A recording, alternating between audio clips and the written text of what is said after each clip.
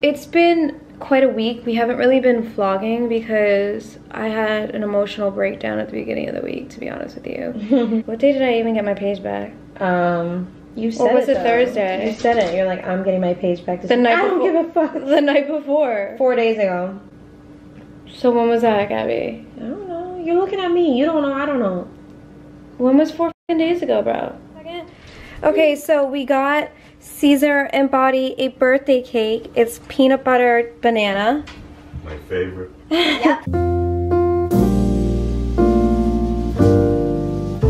Any words to explain how much I love Caesar?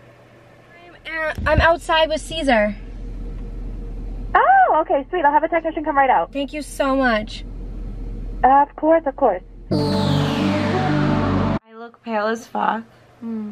I'm not gonna lie there. You do look a little pale. Yeah. So did Why? Marcellus tonight. Why do you look so pale? Cause I am. That's weird.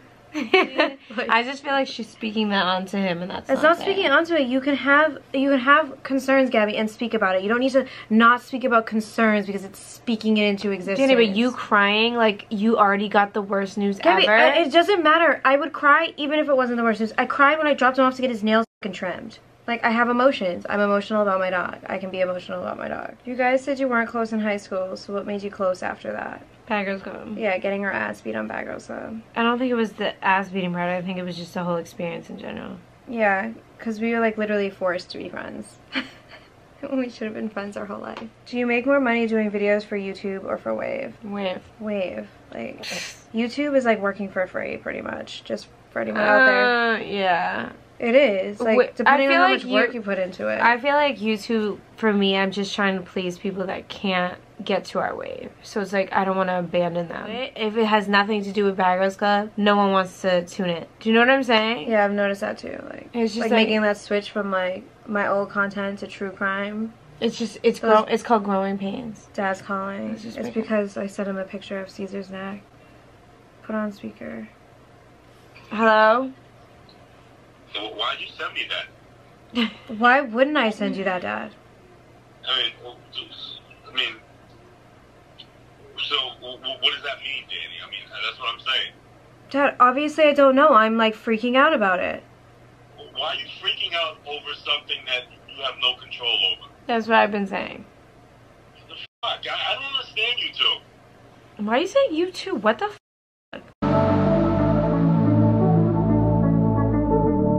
Hi everyone. I'm sitting in the car. That isn't my car. And I also have no idea how vloggers like film themselves in cars cuz how do they not get like the steering wheel and shit?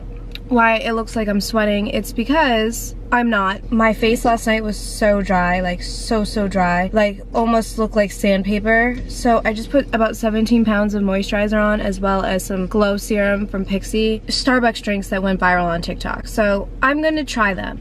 But I'm not gonna do what everybody else does. And I'm not gonna go and get every single drink at one time. I'm gonna go and get one at a time. Powder. This is one of the viral TikTok drinks. So I got that to try.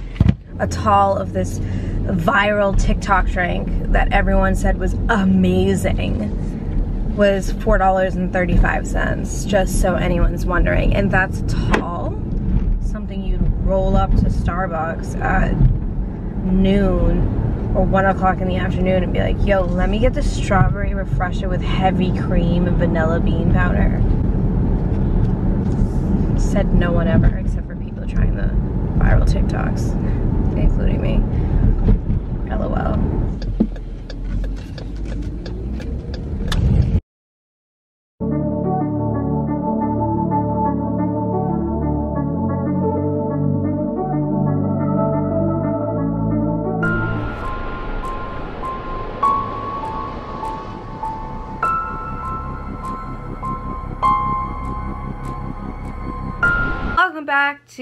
Another episode, right? Episode, video of True Crime with me, yours truly, Danielle Victor, but that's Danny with two N's. Since my normal YouTube, I just think is not appropriate for true crime videos. And for anyone that hasn't seen an old YouTube video. Um, I have this like 43 second video intro where I'm like, bitch, it's Danny with two N's. So I'm Danielle Victor. I prefer to be called Danny. A lot of people spell Danny incorrectly. It has two N's in it and people are like, well, where did you get the second N? And I'm like, well, and when I was in kindergarten or first grade, my mom told me that I came home one day and I was just like, it's Danny with two N's. And it's just been that way ever since. Every reality show I've ever been on, they spelt it incorrectly. And I'm here to tell you to spell it incorrectly!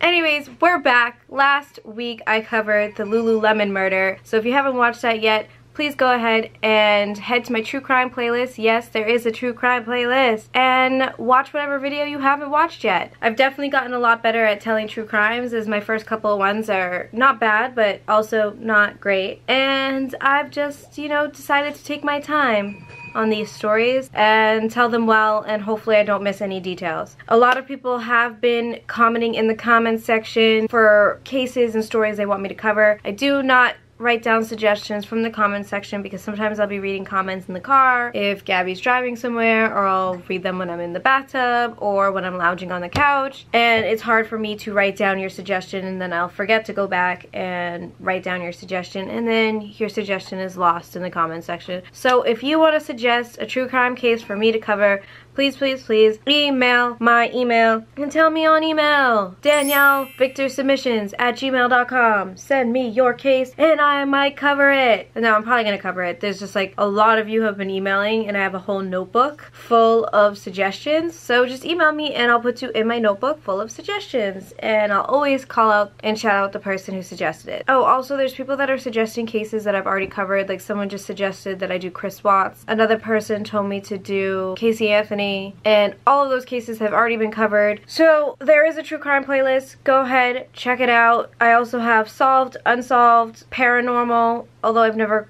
I haven't covered any paranormal cases, but just in case I ever do, there is a specific playlist for those and you can check it out. But there are, have, there have been multiple people suggesting videos that I've already done. I'm like, damn, I've already done them. So check out the playlist. This week, the question is, what happens when a horror film inspires a killer? or killers? Well, I'm about to tell you, and I'm going to tell you this case. Thank you to Danny Luna, who emails my email, daniellevictorsubmissions at gmail.com, and asked me to cover the Cassie Jo Stoddart case. That's what I'm about to do. So fasten your seatbelts, grab your throw blanket, your glass of wine, your rolled blunt. I'm not even I don't even know if we can say that on YouTube anymore. Roll it up, pack your bowls, grab your lighters and your matches and your bottle of wine so you can refill the glass because this is about to be a long one, y'all, okay? This case is not short. So get comfortable and let's begin breaking down all the upness that is surrounded in and around the Cassie Jo Stoddart case. This case is inspired by the movie Scream. Now, for anyone who's too young or has no idea what the movie Scream is, that makes me feel old because I feel like I've grown up watching every single Scream movie possible. In fact, I've seen all of the Screams multiple times and I guess they just finished filming a new one, which I'm super excited about. This murder was inspired by the movie Scream. Scream is a horror film, actually a classic horror film, at least for me, maybe my generation, that came out in 1996. And millions and millions and millions of people went to the movie theater to go see this movie Scream. I miss the movie theaters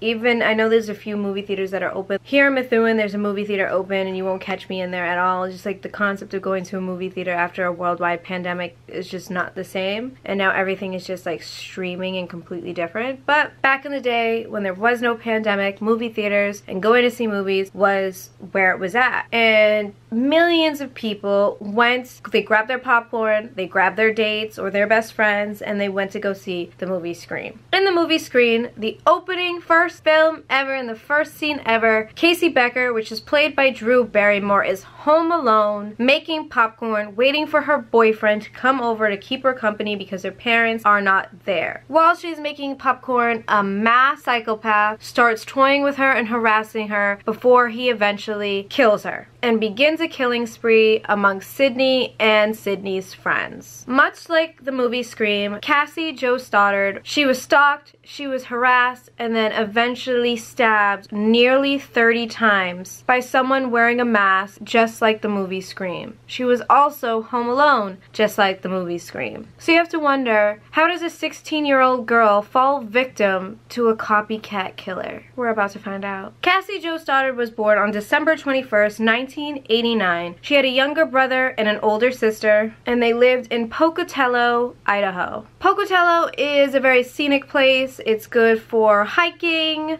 trailing, biking, outdoor naturey stuff. Pretty much the opposite of anything that I would be doing. But if you're into that type of shit, Pocatello, Idaho is the place for you. Pocatello is a very religious area. A lot of the people in Pocatello were Mormon. I don't know much about that religion, but a lot of the people that lived in Pocatello were Mormon. It's not a very diverse area, and although people felt safe and thought that Pocatello is a good community, there's not much diversity, and it was like they were in their own bubble. And I don't know about y'all, but I would rather live in a city and I would prefer not to live in a bubble where everyone kind of like was in your business or thought they knew your business and judged you and thought they knew you and made stories about you. I would prefer the quite the opposite of that. Pocatello is an area where people seem to have set rules set beliefs and if you didn't follow the beliefs that everyone else followed you were probably considered an outcast. So when you type in Google what is Pocatello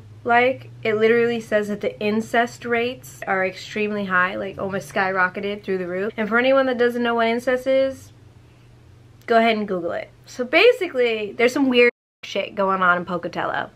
Not a place on my bucket list. It's not a town I'm gonna be visiting ever in my lifetime. Completely uninterested. Not me, not going. Definitely not living there. Cassie was described as someone that came from a loving home. Although she still had her mother in her life, it was believed that she lived with her brother and her lived with the grandmother for most of their lives. I'm unsure why they lived with the grandmother. I didn't find anything online of the relationship she had with her mother. I do find out while I'm doing my research that there's a few red flags in there that are at least to me indicators that they weren't as close as some mothers and daughters would be, but I'll get into that later. Other than the little red flags that I noticed during my research, I didn't really see any information about why her and her brother lived with the grandmother for most of the time, but it said that she came from a loving home, a decent home. She was a straight A student, she got good grades, she didn't drink, she didn't smoke, she loved animals, and she eventually wanted to grow up and become a lawyer. And unfortunately, tragedy tragedy will strike her and her family very, very early on in her life, and none of those dreams that she once believed that she would be living out would ever come true. In 2006, Cassie was 16 years old and she was a junior at Pocatello High School. At the time of her murder, she was dating her boyfriend, Matthew Beckham, who was also a junior at Pocatello High School. I don't know how at 16 years old they were dating. Like, when I was 16, obviously, I had guys that I hung out with, but if I was lucky, my parents would let me have him over and we could watch a movie with the door open and all the lights on. Or vice versa i'd go to some guy's house and his parents would make us a snack and go upstairs while we sat in the main room living room and cuddled up on the couch with the lights on or off. But it wasn't like we were going on dates like I don't remember going on a single date when I was that young. But whatever. She was dating another 16 year old who was also a junior in high school. Matt was friends with Brian Lee Draper. He met Brian when they were in seventh grade. And then he met Torey Adamcik through Brian a year prior to Cassie's murder. All four of them, Cassie, Brian, Matthew, and Torey were all friends with each other prior to Cassie being murdered. Brian spent most of his childhood childhood growing up with his family in the state of Utah, but at some point his family relocated and they ended up in Pocatello, Idaho. Very quickly and shortly after relocating to Pocatello, Brian met Torey and the two bonded almost immediately. They both had an interest in movies, especially horror films, and they had plans of recreating their own. Brian had a crush on Cassie. He liked her, he was attracted to her, but Cassie was dating his friend Matt. Nor was Cassie interested in Brian romantically. The feelings that he had for her were not shared by Cassie. Actually,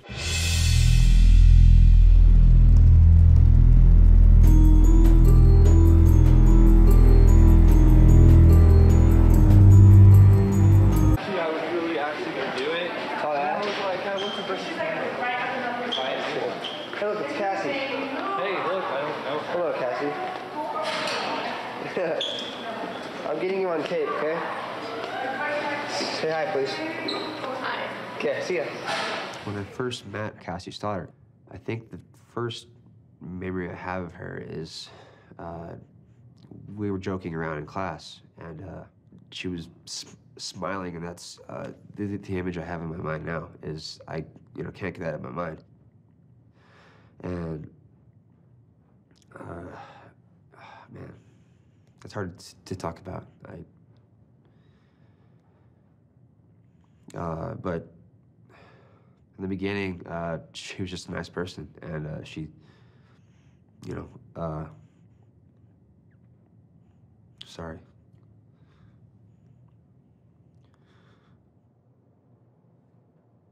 I was attracted to her, and I thought um, she was a special person.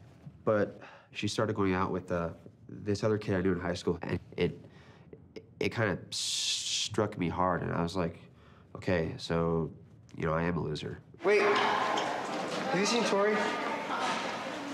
He's supposed to meet me here at 7.30, and it's 8 and 19. He's an hour late. You, you don't even care, do you? okay. Brian would later tell police that he was inspired by Eric Harris and Dylan Klebold, who were responsible for the Columbine high school shooting. He was also obsessed with the attention and fame they got after their shooting. Brian considered himself to be invisible to his classmates, and most importantly, he thought he was invisible to Cassie. He wanted attention, he wanted fame, and he wanted the spotlight.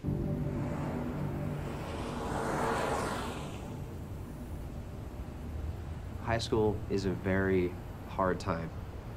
I had no idea who I was. I had no idea where I fit in among my peers. And I thought that I was a nobody at my high school. And I, I wanted to be known. And so I tried all these different identities, and I couldn't, uh, you know, you know, find an identity that I could um, not be pushed out of, I guess. So I got into Columbine. We saw these two kids. They were they were white and they are reported to have and gone our off. Upwards of a dozen people were injured. They're running out of the Columbine kind of created a sub culture for disenfranchised, uh, you know, kids who don't fit in anywhere. I saw at the time they transcended their high school for the hour that they did what they did. They were in the spotlight, and that's what I wanted.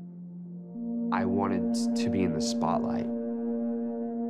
Torey was obsessed with the movie Scream, and he wanted to recreate one of the movie scenes in real life. Torey and Brian started recording themselves on a camera recorder about their thoughts and ideas on killing and on their first victim, who they chose to be Cassie Jo Stoddart. I met Torey Adamcik in sophomore year.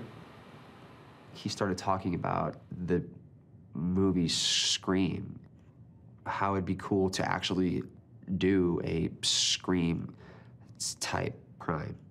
And I was like, oh, okay. He's like, have you ever, you know, thought about that?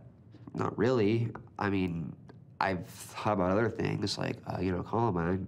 Uh, and he really wasn't into that. And I was like, well, I can either be alone or I could uh, join his plan. and uh, be with him and and you know not be alone. On August 31st, Torey called his homeboy, Joe Lucero, and asked him if he could pick him up some knives at a pawn shop. Torey told Joe that he wanted to start a knife collection. Brian and Torey got in Torey's vehicle, they picked up Joe, they headed on over to the pawn shop. Brian wanted three knives, Torey wanted one, and Joe went into the pawn shop to get them. Which I feel like buying knives for a minor is also a crime so I'm a little confused how Joe didn't get in trouble at the end of all this. But really, at the end of the day, Joe, who bought weapons for two minors who used these weapons from the pawn shop in a murder should also be found responsible as having a hand in the crime, don't you think?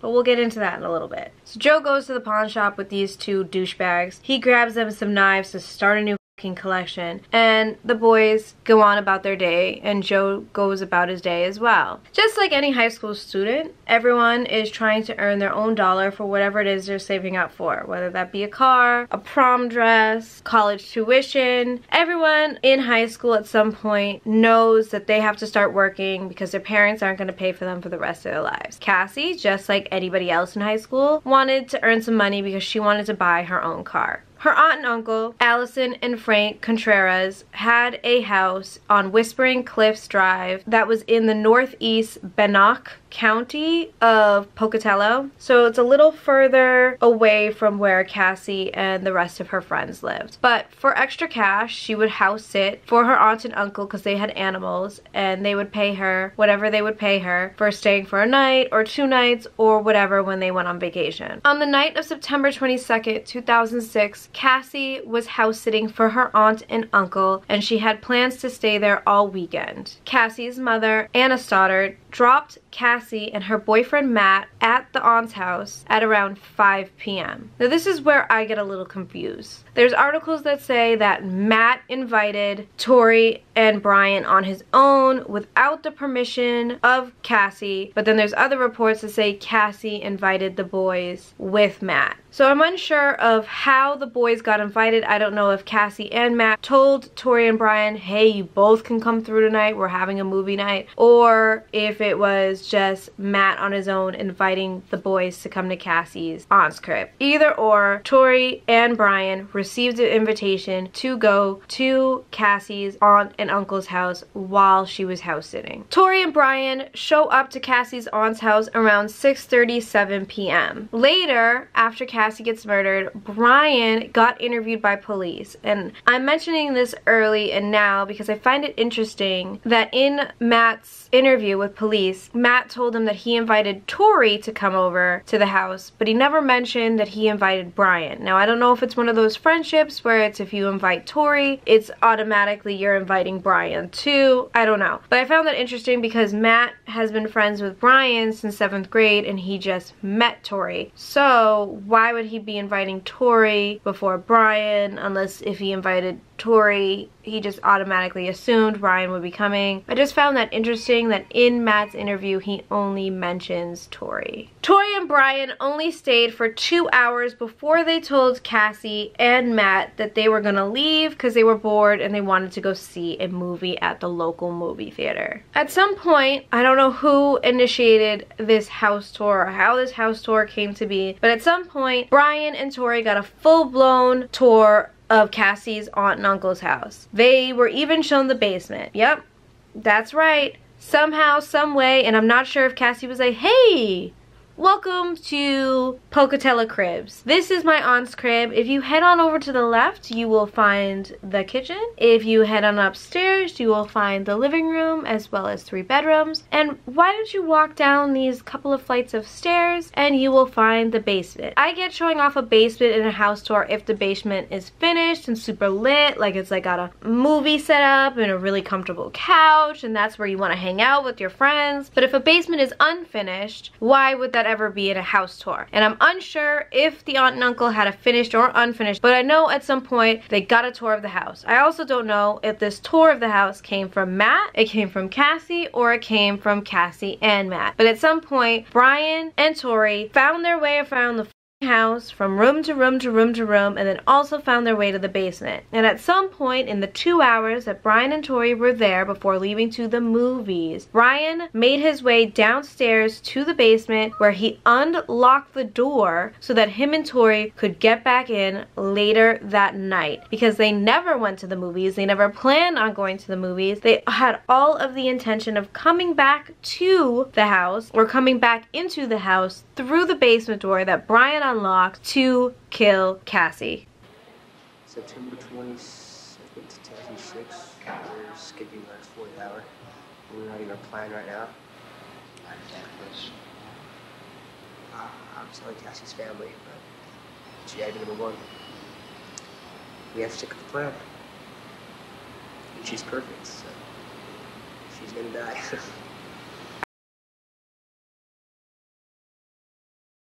Hell, hell, you restrict somebody from it, they're gonna want it more.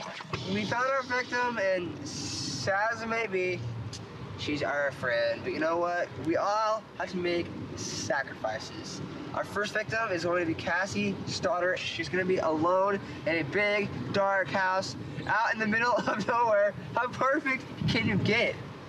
I, I mean, like, holy shit, dude. I'm horny just thinking about it. Hell yeah. Brian and Torey leave the house. They get in their car and they drive down the street and they park Torey's vehicle. Now, after they park Torey's vehicle, they change their clothes. They put on like some black outfits. They had masks. They had like a bag full of shit with them and they headed back to Cassie's family's house. And they re-entered the home through the door that Brian had unlocked prior. I don't know if either of us would have done it if we were alone. We fed off each other, I guess, and it was a formula for disaster in the end, you know. The time is 9.50, September 22nd, 2006. We know there's lots of doors. There, there's lots of places to hide. I locked the back doors, so it's all locked. Now we just gotta wait. I really the individual who snuck downstairs and locked the basement door. And it's that one choice where I was just kind of going along with it. I really didn't stop and say, why am I doing this? I just did it. And that one thing that I did, uh, you know, started this whole thing. And that's something that is hard to deal with um, because all I had to do was just not do that. And this may have never happened. would later tell police that while him and Cassie were watching a movie, the lights in her family's home suddenly went off. Obviously, any teenager, and it doesn't even matter if you're a teenager if that happened as I'm an adult. I'm about to be 33 years old in a couple months. If that happened when I was home alone by myself, or even if I was with someone and the lights randomly went off and there wasn't like bad weather or something outside, that'll spook anybody. Doesn't matter if you're 16 years old, 25 years old, 33 years old, 52 years old, 100 years old. If the lights randomly go out for no apparent reason, anyone is going to be scared. Anyone. Anyone. So obviously, Cassie is spooked at this point, and her and Matt decide, hey, we're not gonna fucking leave the living room. I'm scared, you're scared, we're just gonna sit right here, we're not gonna go anywhere. So Cassie and Matt don't leave the room. In the basement, the power went out because Brian and Torey cut the power using the circuit breaker. I think they were hoping that Cassie would get up from the living room, walk down to the basement to check on the circuit breaker. After she checked on the circuit breaker, they were going to kill her, which makes me have a couple of questions. One, if in fact Cassie did, she stopped watching the movie because the power went out. She gets up from the living room, she goes down to the basement to check the circuit breaker. In the basement, Brian and Torey attack her and kill her. What were their plans with Matt? Were they gonna go upstairs and kill Matt too? Or what if it was the opposite way around? What if Cassie told Matt to go check the circuit breaker instead of her because she was scared. And obviously, as a woman, you're looking at the man, who's really a boy at the time, to protect you. So Matt goes downstairs to the basement, checks the circuit breaker. Was Matt going to get murdered before Cassie, if that's what had panned out? But then another question I had is, was the reason that Matt told Cassie that him and her should stay in the living room because they're both scared due to the fact that Matt knew that his sketchy, weird ass friends had plans or intentions of killing his girlfriend and wanted to avoid going down to the basement just in case he was like, hmm, maybe they're gonna kill me too. Is Matt somehow aware of his friend's plans to murder his girlfriend that evening? Does Matt know? Brian and Torey wanted to continue to scare both Matt and Cassie. So, for instance, and an example is they took two ashtrays as I'm getting scared in my basement as I'm home alone.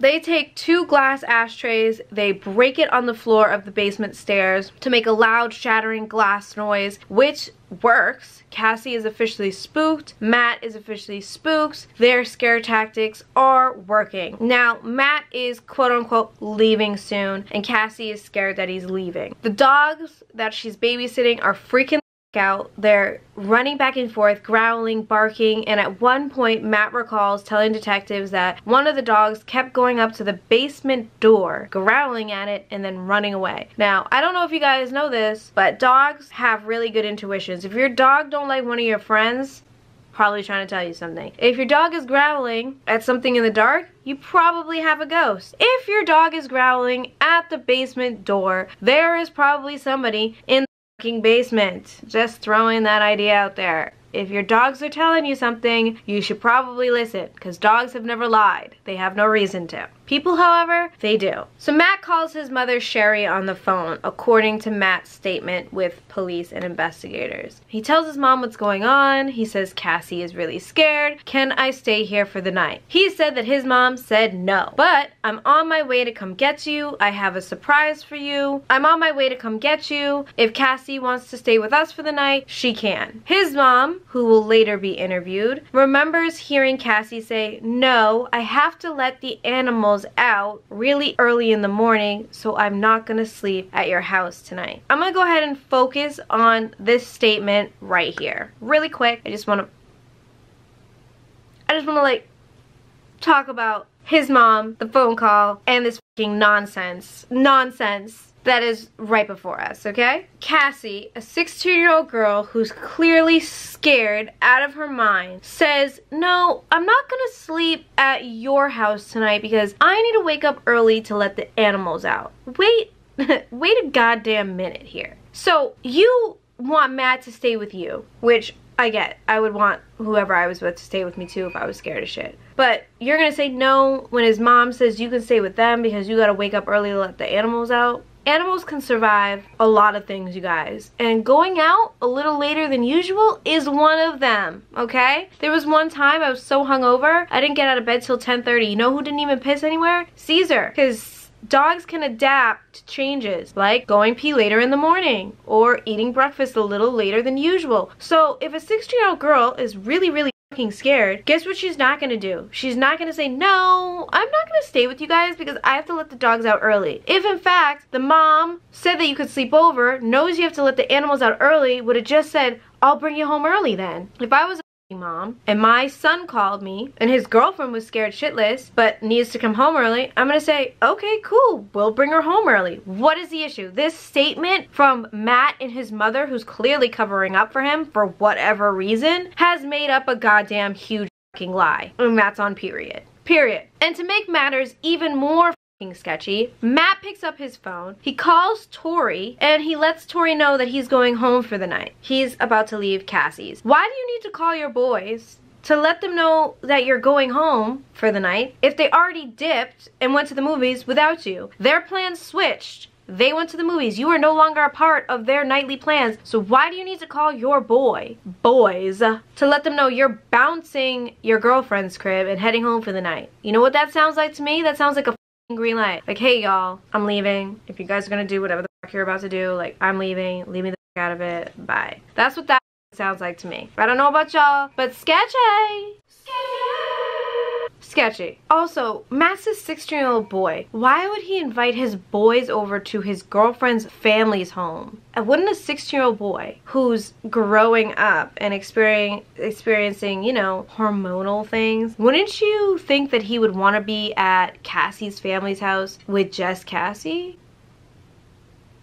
Why invite your boys? Why invite them to her house? Why? Well, what's the reasoning behind that? You can't go one day without hanging out with them? I find that extremely unbelievable. And also, the only reason a parent says no to a sleepover, like how quickly Matt's mom was like, no, I told him Matt couldn't stay at Cassie's house, would be because a parent doesn't want their 16 year old to engage in, I don't know, like some but she said yes to her sleeping over. So even if she slept at your house, there still could be some shit going down. So the story again isn't believable. There's so many holes here, you guys. Matt is Matt is Matt is just not, he's on my radar of maybe there should be another arrest. Maybe this case isn't as closed as we think it's closed. I also find it really weird that Matt told Cassie when he was leaving that he would call her when he got home to check on her and there's no mention anywhere of him calling back, him checking on her that evening and had he called her that evening and she didn't answer, wouldn't that have worried him? And if he had told his mom about all the sketchy th shit that was going on in the house, then he would have told his mom, hey mom, I just called Cassie to check on her. She's not fucking answering. Wouldn't as a parent, you be like, okay, get your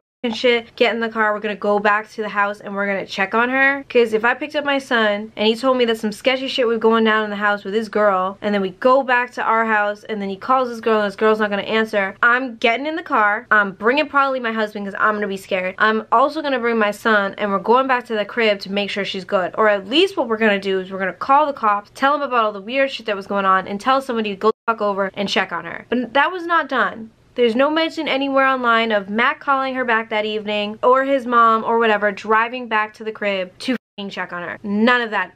None of that. None of that is listed anywhere. So for me, Matt is looking like he had something to do with this. Maybe I got some trust issues. Maybe I don't believe anyone and I've just lost faith in all of humanity. I don't know. But to me, Matt is looking very sketchy. Extremely sketchy. And so is his mom, lying ass bitch. I know everyone's like, don't talk about no mama like that, but I'm sorry. If you guys can't see that his mom is lying for him to protect her son, you're lying to yourself. She's she has totally bullshitted police and everyone else to protect her son, and that's on period. Sorry. Sorry. Later, Matt would tell police that when he called Torey to let him know that he was leaving Cassie's for the night, when Torey was talking back to him, he said that it sounded like Torey was whispering. And he didn't think much of it because he thought that him and Brian had gone to the movies. And obviously, if you're in a movie theater, you'd be whispering. But if you're actually in a movie theater, you probably wouldn't pick up your phone. You'd text somebody and be like, hey, I'm at the movies, right? Like, who the fuck picks up a phone in a movie?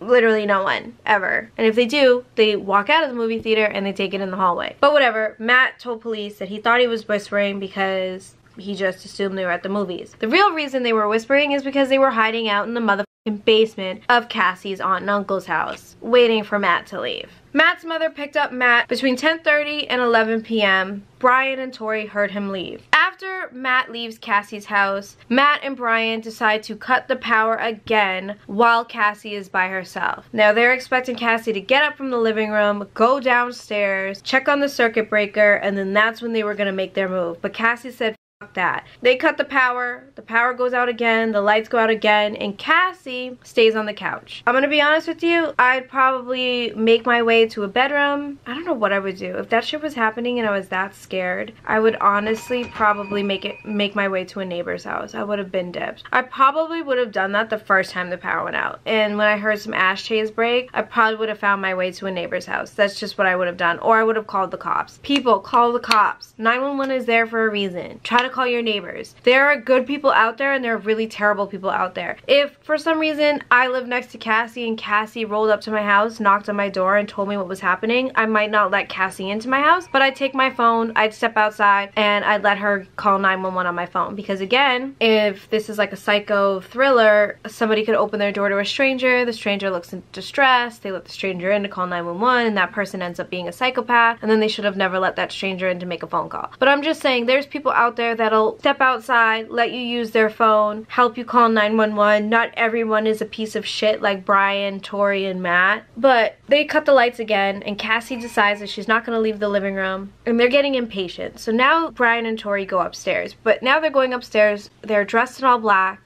they have gloves on, they have masks on that are similar to the movie Scream, and they are both carrying knives. So they head upstairs. When the boys got upstairs, Brian attempted to slam a door to frighten Cassie in hopes that would get her to get up out of the living room, leave the couch, and come to where the boys were hiding, now upstairs. However, Cassie heard the door slam and she didn't leave the couch. She did not leave the living room. Again, their attempts failed. Brian and Torey decided that they were going into the living room and when they did so, Cassie flew up from the couch. She stared at them, asked them who they were, and told them that she would kick their asses. Good for her because I can't even imagine what was going through her head, what she was thinking, how scared she must have been because I get scared so easily if someone even like in my apartment with my two roommates right now, I know one of them has left their bed bedroom. If they even walk down the hallway sometimes I get so scared I'm like ah!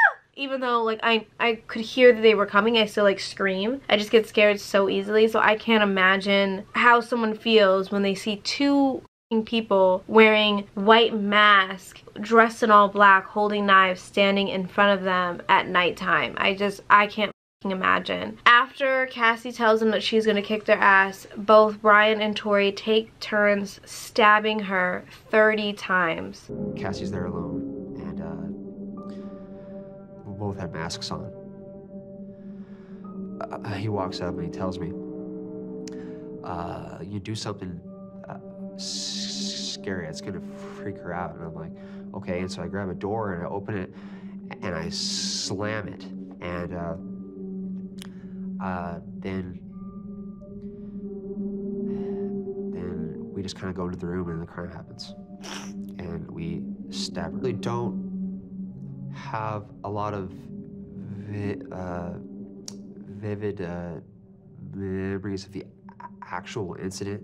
Uh, I have a, what they call a breathing hard, and and her eyes are open, and she's looking off someplace else, and uh, and then I I remember uh, Sony, like, she wasn't screaming, but in my head I can hear that. And I know she she screamed before it happened to her, and uh, uh, but in my memories I have, sh she's screaming between 9 and 12 of these stab wounds were actually fatal or had the potential to be fatal. After Brian and Torey killed Cassie, they left her house, they got into Torey's vehicle, and they put back on their cameras and recorded their reactions to killing someone for the first time. Killed Cassie, we just left her house.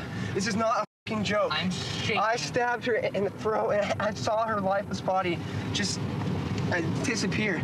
Dude, I oh just killed God. Cassie. Oh, oh, that felt like it wasn't real. Uh, I mean, it went by so fast. Shut the up. We gotta get our act straight. Okay. At some point later in the evening, Torey and Brian headed to Black Rock Canyon where they stuck all the evidence into a bag and then set the bag on fire. And then they left Black Rock Canyon. On September 23rd, 2006, Matt Beckham, Cassie's boyfriend, spent the entire day with Torey. Torey, Matt will later tell police that he called Cassie a bunch of times on the 23rd and could not get a hold of her. I think he called her roughly about 15 times. And every time Matt tried to call her, there was no answer and there was no response. He would also tell police that he asked Torey eventually if he could bring her back to Cassie's house because he was worried about her. And Torey said no because it was a far drive and his gas tank needed to last him the entire week and he couldn't afford to go back to Cassie's aunt's house, go back to her house and then back to where they live again. It just wasn't gonna work for him financially. So let me get this straight. Matt, her boyfriend, who witnessed how scared she was, didn't call her when he got home, called her the following day, can't get an answer, asked Torey to bring him, Torey said no, and then gave up on trying to check on Cassie. Now, as far as I'm concerned, you and your mama, you and your mama, your mama, told police that you offered Cassie to spend the night. So your mom is also well aware of the shit that was going down that was scaring Cassie. So if that's the case, when Torey said, no man, I'm not gonna drive you, why didn't Matt pick up his phone,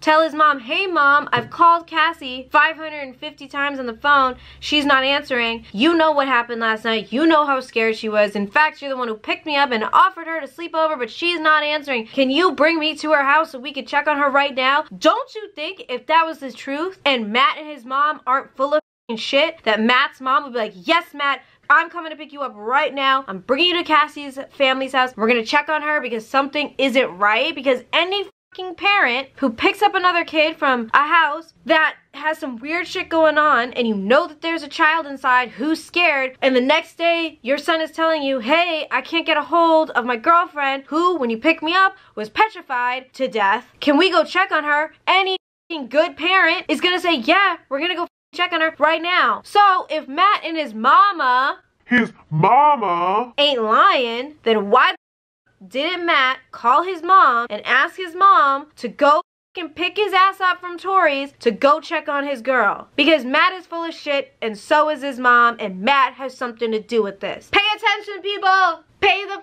attention. Matt is involved. How convenient that you were with Torey. How convenient you called her 15 times and she couldn't answer and Torey said no, he can't drive you because he doesn't have enough gas. Because it's all planned out. And the only reason... The only reason... That you have a story and your mama is backing up your story is because your mama knows you're a psychopath because the mother always knows when there's something wrong with their kid, okay? She knows. She knows she has something to do with this, but she ain't gonna lose you, so she's gonna cover up for you. And that's what happened with Matt and his mom. I'm putting money on it. The cops need to reopen this case. It ain't closed. They need to make one more arrest. But let's continue. At the same time, Cassie's mom, Anna, has been trying to call Cassie a bunch of times. Cassie's not answering. She's not answering, she's not answering, she's not answering. And despite never getting an answer from her daughter on Saturday, Cassie's mother does not get in her car and does not go to check on her daughter. Now, this is what I was saying earlier where I took some notes and I noted, I jotted down some red flags for me where I was like, I don't know their, their relationship or how their relationship worked. Now, if I'm a mom and my daughter was house sitting and I can't get a hold of her, not a single single time, either on the house phone or her cell phone if she had one. I'm getting in my car and I'm heading to the crib. My daughter is not gonna go that long. She's 16 years old. She's in a house by herself in a neighborhood that's quiet and secluded. I'm gonna call her, I'm gonna call her, I'm gonna call her. By the third time, if she don't answer, she don't call me back. I'm getting in my car, I'm heading to where she's at, I'm canceling my plans because nothing's more important than kid. But for some reason, Cassie's mom called, called, called, didn't get an answer, and she just thought, okay, well, she's with Matt. Maybe she's busy. She's not going to call me back. No, she's 16 years old, honey. I don't give a if she's with her boyfriend or not. Your 16 year old daughter needs to call you back. She needs to let you know she's good and you should want to know that she's good. I'm sorry, a little red flag for me. I know everyone parents different. I know everybody handles things differently. But for any parent who cannot get a hold of a child who's staying in a house by themselves at 16 years old who doesn't have a car, you should be concerned that she's not answering multiple times in a row. I'm just saying. So I noted that as a red flag. I thought it was a little weird. Not that I think her mom's a sus suspect at all. I don't. I just think parenting wise, I think there's a reason why Cassie and her younger brother stayed with the grandmother for a period of time because maybe Anna wasn't prepared to have, I don't know, but her not getting a hold of Cassie and not feeling the rush or the need to go check on her might be an example of how their relationship was was and why the grandmother might have been taking care of Cassie and the younger brother. I just got so scared it's a fucking cat.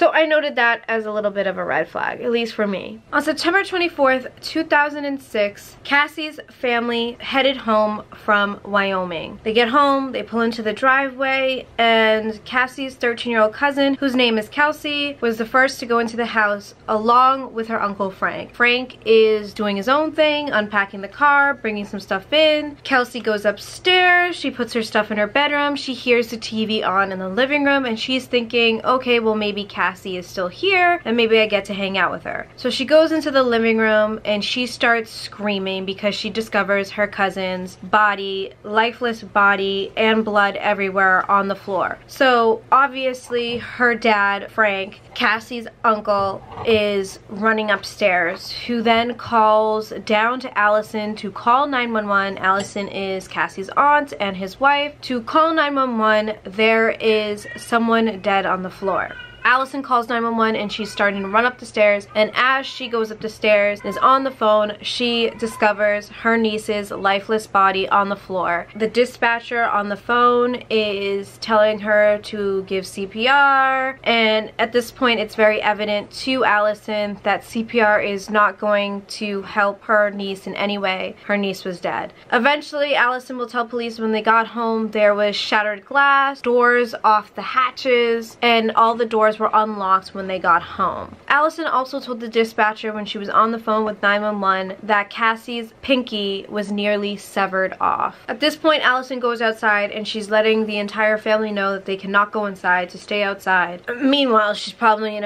a state of distraught, panic, shock, uh, realizing that she is an image that she'll never forget ever in her lifetime, embedded in her mind. Meanwhile, it's Sunday morning. Anna Stoddart had woken up. She made her and her husband, who is Cassie's stepfather, Victor Price, a breakfast. They ate the breakfast, and then she looked at Victor and she said, you know what, I think it's time I go check on my daughter. So her and Victor get into the car and they head over to Allison and Frank's house. Now, as they're pulling into the driveway, Victor and Anna get out of their Jeep and they're standing in the driveway while the whole family is outside talking to one another. And at some point, Frank can be heard screaming through a window, Cassie, I think Cassie is dead. So Victor runs inside before Anna and runs into the living room where he sees Cassie on the floor in a pool of blood. So he hears Anna running close behind him, so he turns around, he grabs her and he brings her outside. And she's like, let me inside, as any mom would. Any mom would do that. She's freaking out, she's hysterical, she's trying to get inside, but there's no way hell Victor was gonna let Anna see her daughter like that so he keeps her outside they go back to the Jeep Anna takes Victor's cell phone and she calls Matt Cassie's boyfriend on the phone and says what the did you do to my daughter? Matt does not respond. Victor then takes the phone from Anna and he tells Matt on the phone that Cassie was dead. Again, there's no response from Matt and Victor hangs up the phone. How is Matt, who was just with Cassie less than 48 hours ago, who's been with Cassie for roughly four to six months, have zero emotion whatsoever being told that Cassie's dead, and then being accused of possibly being the one to do something to her. No emotion, no response, no nothing. That's not sketchy to y'all? Right. Mm-hmm. Not sketchy at all. Police and paramedics arrive at the scene. They find Cassie's body, where they discover multiple lacerations and stab wounds all over Cassie's body. One of the paramedics touches Cassie's body and confirms that her body is in livid. They also confirm that Cassie is dead and has been murdered. Police quickly find out from Anna Stoddart and Allison, Cassie's aunt, that Matt Beckham was in fact Cassie's boyfriend and they were both under the impression that Matt was staying for the entire weekend. Anna Stoddart confirms with police that she dropped Cassie and Matt off at the house at 5 p.m. and around 9 p.m. she spoke to Cassie on the phone. She called her earlier than 9 p.m. She didn't answer the call. So she called again. She apologized to her mom. She said that she didn't answer the call because her phone was on silent and that everything was fine and Matt was still with her. She said that she never once mentioned other boys being there or other friends being in the house, and that was at 9 p.m. And she was under the impression that everything was fine and Matt was staying not just for the night, but for the entire weekend. Now, Cassie's aunt Allison also confirmed with police that she was under the impression that Matt was also staying, not just for the night, but for the entire weekend. Anna also told police that she had not spoken to her daughter since that phone call at 9 p.m. She also told detectives that she was unaware that anyone else was in the house and also unsure how Matt could have gotten anywhere to and from their household because Matt did not have a vehicle. So this is what I think happened, right? I think that when Cassie's mom mom took her husband's phone, Victor, and called Matt and said, what the did you do to my daughter? And then Victor took the phone and told Matt that Cassie was dead. I think that gave Matt enough opportunity to get his parents tell his parents what happened and come up with a cockamamie bullshit ass story. I think that's what happened. I think Matt was either involved in the murders or knew the murders were going to happen and to protect himself he told his parents that he had nothing to do with it and that he needed their help in lying. But I also believe that maybe possibly it wasn't Matt's mom that picked him up from the house and maybe Torey gave him a ride home then they went back to the house and killed Cassie after. Either way, I think Matt knew, had known, and had knowledge of what happened to Cassie or what was going to happen to Cassie. And there's no way in hell that you're friends with Brian and Torey. Both two kids who are obsessed with murder, horror, and idolized a, a, movie like Scream, or two other high school students who are responsible for a school shooting massacre and you don't know of any of their plans. If Matt was friends with these dudes, a dude like Brian who described himself as invisible to his classmates and to of Cassie, then wouldn't that kind of put Matt in the same category as these dudes. Maybe Matt related to Brian and Torey because he also had the same dark and eluded thoughts. It just doesn't add up that you're friends with someone since seventh grade and you don't know or don't have a clue about the conversations he's having with your other friends about killing your girlfriend. I'm sorry. But I think Cassie's mom calling Matt that day in the driveway gave Matt enough time to get his story together. Had she not have called him and asked what the did you do with my daughter? and basically give him a heads up that you are a suspect and not only that you're the number one suspect i think maybe matt matt would have gotten himself into some trouble. I think maybe the story would have been a little different. Maybe i'm looking too deep into this or maybe just maybe the cops need to relook at matt he might have not had a knife he might have not committed the actual murder. But let's not forget that conspiracy to commit murder or aiding and abetting criminal activity is also a crime. I feel like Matt is guilty of that. At 4.20 p.m., police detectives did a preliminary walkthrough of Allison and Frank's house, which was now officially a crime scene. They found three bloodstains on the staircase. The upstairs hallway had bloodstains. They found a condom in the bathroom upstairs as well as an unidentified stain in the sink. Now, I don't know what the that means. I don't know what unidentified stain means, but clearly Matt and Cassie engaged in sexual activities, which makes me wonder when did they engage in those sexual activities if Brian and Torey got there an hour after they arrived, about an hour and a half after they arrived, stayed for two hours, and then they lost power because Brian and Torey were with the lights. So when did they engage in sexual activity? Is a question that I have. Maybe no one else is asking that, but I find that important. Did they test the DNA on the condom? Did they make sure that it was Matt's DNA on the condom? Did they did they perform a rape kit on Cassie? Did Torey and or Brian commit some type of rape before they killed her? Because let's not forget, Brian had a weird obsession with Cassie. He wanted to be with her. She didn't want to be with him back. We don't know. There's a lot of questions that I have with this comment, with this evidence found. Whose DNA was on the condom? Was there any indication that the sex that Cassie had was non-consensual? Was it rape or was it consensual sex? None of that is listed and I get maybe it is listed in documentations that we're not allowed to see because they're all minors at this given time. Those are questions that I have reading those comments about the evidence found through the preliminary walkthrough. When the police finally got to the living room, they noticed that Cassie was wearing yellow pajama bottoms that were patterned with stars, moons, and suns, and she was also wearing a spaghetti strap tank top. Her right foot and her leg were entangled in a black cord that came from a Sony PlayStation that was plugged into the front of the television set that was in the living room. Cassie's legs were slightly apart, her arms were off to the side, and her elbows were bent, and her hands pointed upward toward her head. Her head was slightly turned to her right arm, and the pinky on her left hand was nearly severed off. There was a visible knife wound on Cassie's left leg that had a pool of blood around it. She also had a visible stab wound in the middle of her chest, as well as several other wounds on Cassie's upper body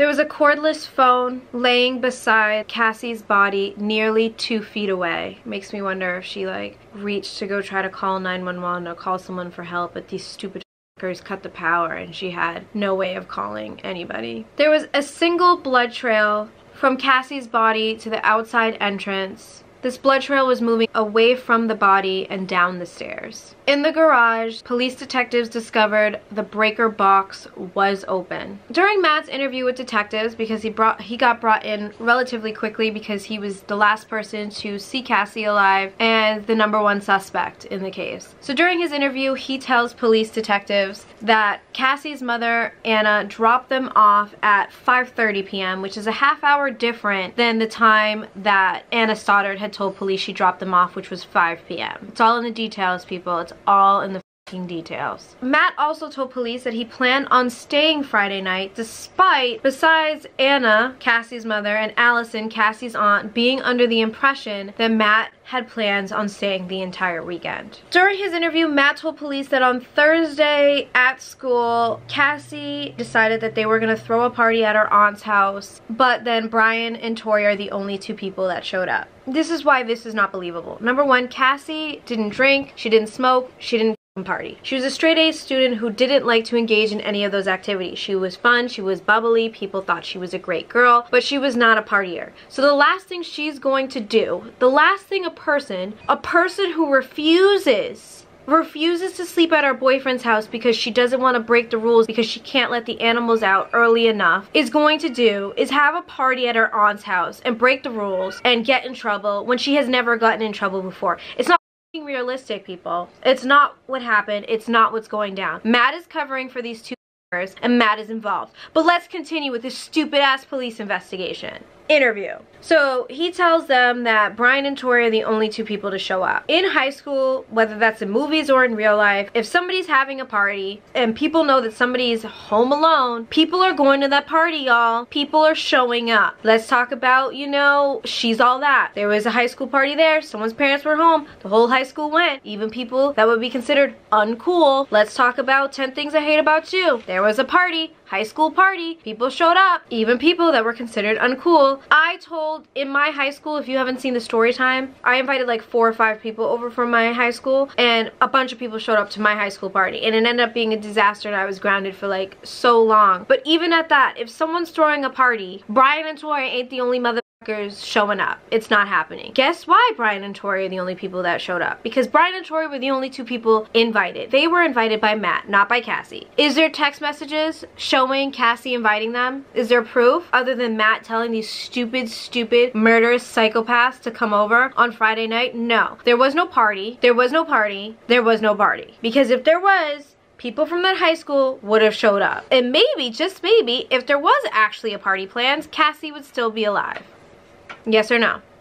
I found this interesting as well. Matt told police in his interview that they put on the movie Kill Bill and then they went into the kitchen and they ate popsicles. He then explained to police that he used a knife that was in a black protective sheath and he showed Brian how to take the knife out of the sheath. And I found this to be fucking weird. Number one, why the and who the opens a popsicle box with a knife. It's called use your hands. Are you a growing young ass soon to be man or are you a punk ass little bitch? Who doesn't open a popsicle box with their hands? And if you can't open with your hands, would the next step be to use a pair of scissors? Who uses a knife that's in a protective sheath to open a box of popsicles? It just doesn't even make sense, you guys. It just doesn't even make sense. At all. At all. Also why would matt during his police interview find that detail of how he opened the popsicle box and showing brian how to get a knife out of a protective sheath important? Like why would he feel the need to explain that to detectives? Hmm? Why Riddle me that, Batman. Riddle me that. So in every single article I've read about this case, every single timeline puts Torey and Brian at Cassie's family's home around 637. However, in Matt's police interview with detectives, he told detectives that Brian and Torey arrived at the house around 8.30, which is the time that they supposedly were pretending to leave. He also told police that Brian and Torey left the house around 9:30, 10 p.m., not 8:30, which is in every single documentation about this case. That's almost a two hour time difference that Matt is on. Two hours.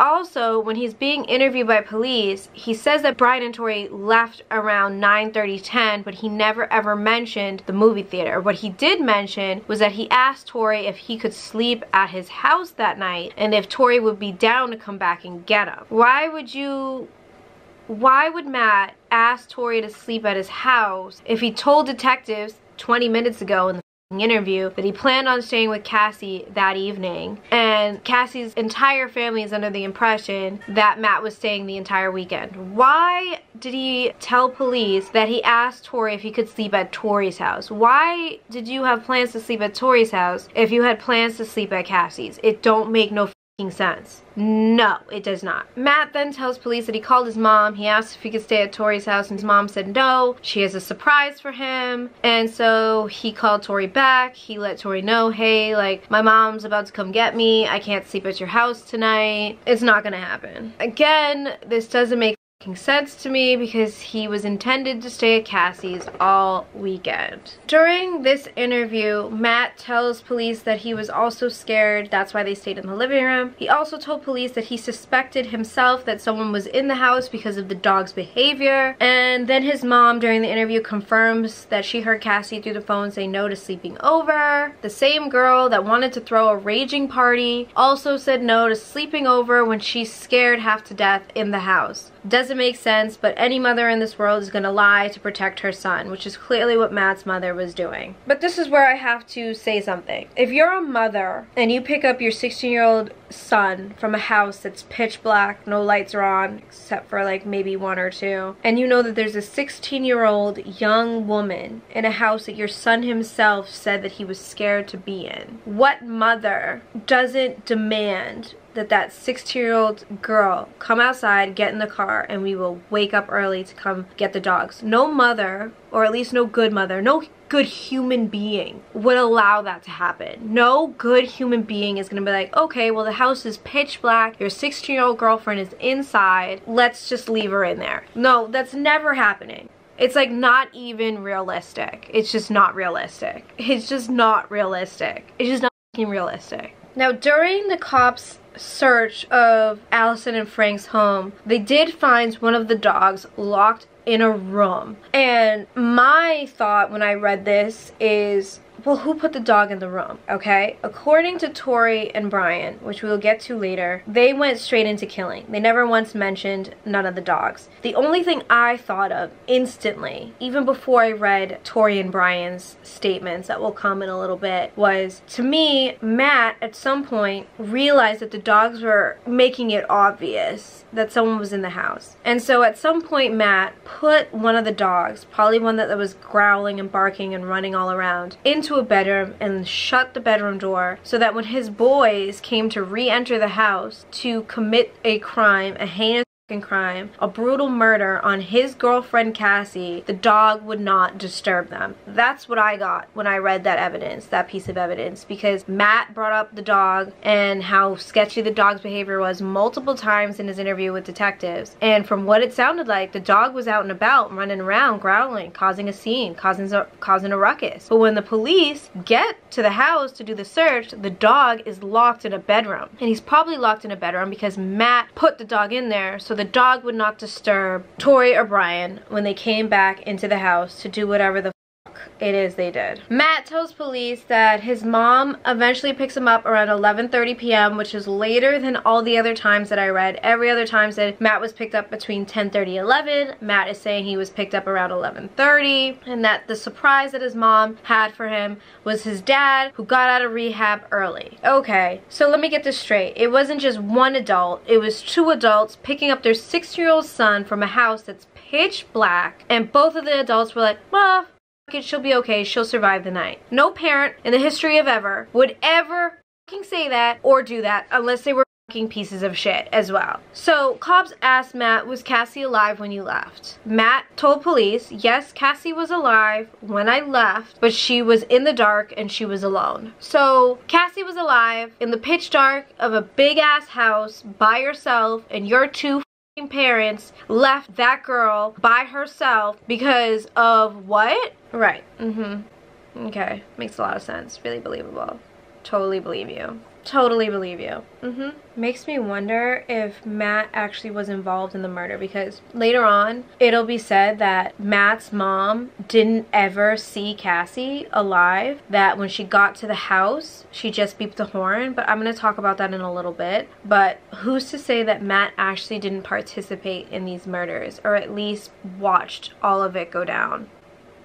I'm just saying, you guys, no matter how Matt played a role, the point is we all can see that he did, right? I'm not alone in this. Matt then tells detectives that they drove back to his family's house. His father read his family a book on his experience at rehab. They then watched the movie The Rookie and then they started the movie The Green Mile. And then Matt went to bed around 3, 3.30 but his father stayed up in the living room on the couch until the next day. So let's do this little fucking timeline according to Matt, shall we? So according to Matt, he gets picked up from Cassie's house at 11.30 p.m. by his mother Sherry and his stepdad who just got out of rehab, which was a big surprise. They leave Cassie in the house alone in the dark by herself. They drive home back to Matt's family's house. Now, I don't know the distance between Cassie's family's home and Matt's family's home, but it was said that Cassie's family's home was in a remote area further away from where the rest of them live. So let's just say it was about 20, 30 minutes. That puts Matt at his family's house by midnight. He then says when they arrive home, which is around midnight, that the whole family got read a book by his dad about his recent stay in rehab. Okay, so just a couple of questions. Who's the entire family?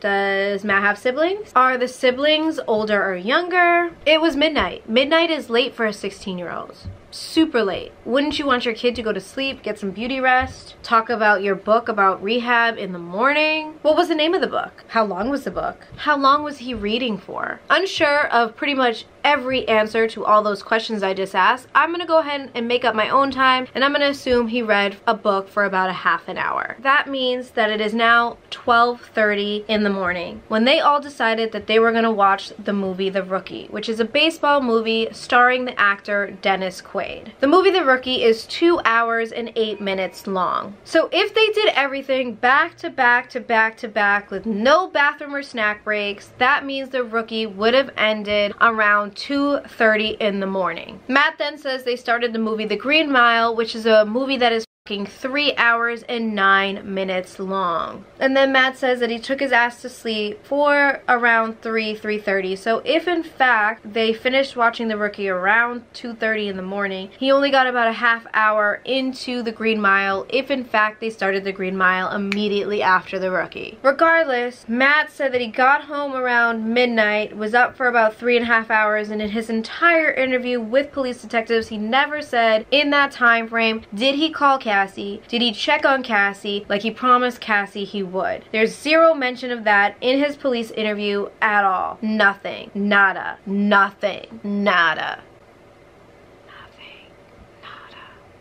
So his parents picked up Matt from a dark, empty house, and neither Matt nor his parents decided to pick up a phone and call Cass or to get in the car and check on her. They just said, it, she's good, she's 16.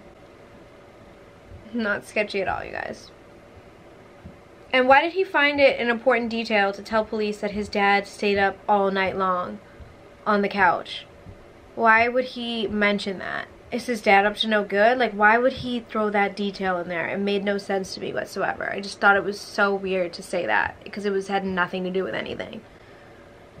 Keep in mind that during this interrogation, police are completely thrown off by Matt's demeanor. He's showing little to no emotion. He was completely unfazed when he was told that Cassie was dead. Not only dead, but brutally murdered. He had no emotion and police are just completely thrown off by his reaction that they find him so suspicious they want him to take a polygraph. So he takes a polygraph and lo and behold, Matt passes. And I don't know about y'all, but polygraphs have actually been ruled out in a lot of cases because they're just not reliable. For instance, Gabby took a polygraph on marriage boot camp about whether or not her baby daddy was actually the baby daddy of her child and it said that she was lying and they found deception and her baby daddy is the baby daddy of her son. Sometimes I don't think that polygraphs are correct and I also feel like you can also google or learn how to beat a polygraph test so Matt probably knew from the minute Anna Stoddart called him that he was going to be a suspect and that gave him plenty of time to learn how to beat a polygraph test. Regardless, a polygraph test should not be enough to clear a motherfucker from a crime. It just shouldn't. It just should not be enough. But they clear Matt as a suspect because he passed his polygraph test. So at this point, Cassie's family, who has spent most of the day across the street at a neighbor's house, has now been put up at the Ameritel Hotel. I believe it was either for a couple of days or a couple of weeks, but basically they cannot move their cars out of the driveway and they cannot go back to their home because it was officially a crime scene. So they were put up into a hotel. Detective Thomas and Detective Gantz Ganks, not quite sure how to spell his name, but I'll put how you spell it below. They go to Torey's home to have an interview with Torey, and this would be the first out of two interviews they would have with Torey. Both of his parents were present during this interview. The detectives inform Torey's parents and Torey, who already knows, that Cassie Jo Stoddart was brutally murdered on Friday night. Detectives also inform Torey and Torey's parents that Brian, Torey, and and Matt, Cassie's boyfriend, were the last people to see Cassie alive. Torey's mother, Shannon, then asked detectives if Torey was a suspect. She then said, quote, he spent the weekend with us. He came home on time. He went to football games. How could he have done something like that and not have told us? He would have to be a psychopath to be capable of something like that. She also wrote a book called The Guilty Innocent where she discusses her trials and tribulations. I am going to be honest with you guys, I purchased the book off my Kindle. It was 70 $7.99 and I'm like, Shannon bitch, I'm gonna need my $7.99 back. I got as far as I could in the book and I stopped reading. I think I got up to right before they're about to go to trial. And I hate to say this, but Shannon is one of those moms where you're like, well, I kind of get how one of her children became a psychopath. Even not knowing her and just reading this book, I wanted to punch Shannon in the face. She's like one of those overbearing moms that doesn't let their kids live unless they're living the exact life that she wants them to be living. She's like pretty much Reese Witherspoon in Little Fires Everywhere. Just put it that way. And I've never met this woman. This is just how I perceived her from reading her book. And the whole book was about me, me, me, me, me, me, me, and nothing about how her son was possibly feeling or thinking or believing. It was all about her. And I think that was the point. I also think that she wanted probably to make a quick easy cashola after her son committed a heinous crime because they probably put so much money into his lawyers and legal fees that she was like, how can I make this money back? And then she wrote a book. And then suckers like me who are about to retell the true crime case on YouTube are like, let me just buy this stupid book and see what this lady has to say. And I got as far as I could and I'm gonna be honest with you, I couldn't finish it because she's just so frustrating and reading her words and her reactions to everything was so frustrating that I was like, ah! if I'm frustrated reading your words on a piece of paper, I can't imagine how I'd feel if you were my mom. That's how I felt when I was reading the book. So if anyone is interested in purchasing that book on Amazon or Barnes & Noble, it is very frustrating. Shannon is very frustrating and it's no shocker that her son had a few screws loose because if you just look at all the cases that I've covered on my true crime, 99.9, 90, I would say like 90 94 to 95% of them had mommy or daddy issues. Toxicity at the family home. Maybe Shannon thought that they were living a perfect life or she wanted her kids to live a perfect life, but maybe her actions and her behavior triggered him into becoming like a stone cold killer because he just was being drove insane at home. Like there's one scene she described in the book where Brian was coming over and they were watching a scary movie in Torey's bedroom and she walks into the bedroom and there's zombies on the screen and she's like, I don't want this type of shit playing in my house and Brian, who had a stutter, was like telling her that his mom doesn't want him to watch it too and blah blah blah blah blah. So then Shannon Torey's mom was like, I'm gonna call your mom. And then Brian was trying to make a big joke of it, was begging her not to call his mom. And then she grabbed Torey out of his bedroom, brought him into her bedroom, cornered him in her bedroom, screaming at him in his face. He wasn't saying anything. She just described Torey as looking at her with so much hatred and coldness. Her husband came flying up the stairs and was like, what is wrong with you? You need help. What are you doing cornering our son in our bedroom like a lunatic about a scary movie? And that's her own husband asking her what is wrong with you? Um, what the are you doing to our son? So if that's the behavior she was exhibiting for most of Torey's life, it's not a shocker to me that the kid had problems at all, at all. The book is very frustrating, so is Shannon. And she's so delusional. She literally thinks her son is innocent. I'm like, you're so delusional. I don't, like, you're so delusional. It's like you want your son so badly to be innocent, so you don't need to explain to everyone that your son is a psychotic killer because that's not the life you envisioned for yourself or your children. I'm up every three weeks and we'd leave right after work on Friday, drive up all night, come stay in the hotel. We wouldn't miss a visit for anything. Torey's a good kid and we enjoy the visits. We have a good time and Torey's the same person he was when he, before he went in. My mom still treats me like a mom, and she tells me to brush my teeth as she's leaving the visiting, and uh, tells me to go to bed early or whatever, just the typical stuff. But I don't know. I think they're just worried about me.